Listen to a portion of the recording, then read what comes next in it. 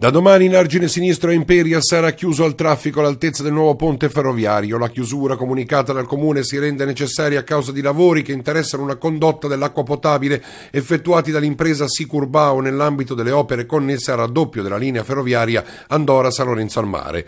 Il traffico proveniente dalla statale 28 diretto a Porto Maurizio sarà deviato sull'argine destro in via Trento, mentre chi è diretto a Oneglia potrà percorrere via Nazionale.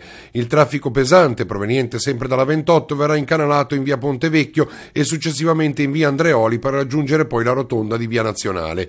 Chi invece è diretto sulla statale 28 potrà percorrere via Garessio oppure imboccare l'argine sinistro fino all'incrocio con via Nobel e portarsi quindi in via Garessio. Le auto potranno comunque percorrere l'argine fino all'altezza dell'imbocco di via Calzamiglia via Spontone.